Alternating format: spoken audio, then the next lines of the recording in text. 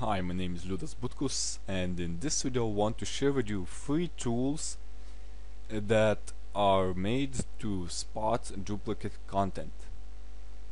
Now why would you want tools like that? Now one reason is if you're accepting guest posts on your blog then a lot of people uh, will send you duplicate uh, articles and you want to check them are they already published on the internet before you publish them on your blog?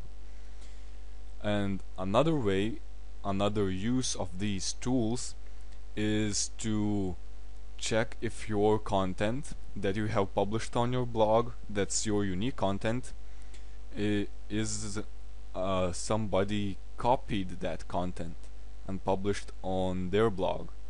And you might want to contact that website and maybe for to take that content off their website if that's what you want. So these tools might help you in these two ways.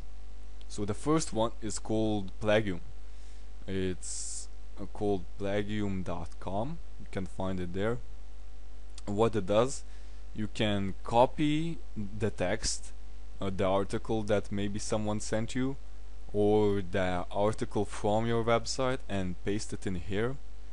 And you can do a quick search to find uh, whether it is published somewhere on the web. Now if you want more functions from this tool you need to sign up which is free but I think there are also paid functions here.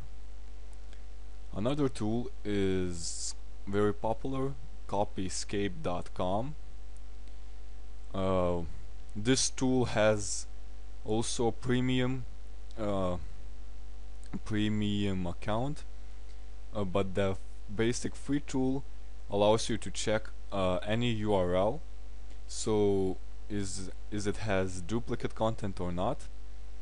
Uh, so you need to have the article already published on the on the internet if you want to check it not like with Plagium where you can paste in the content. But with premium uh, searches that cost money you can do that. Also with premium you can uh, check multiple links at a time for duplicate content.